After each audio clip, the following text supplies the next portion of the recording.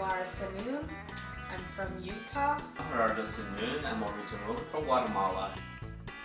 When I was younger, I always imagined this man that I could marry and have a family with. Now I've found someone that who I would like to spend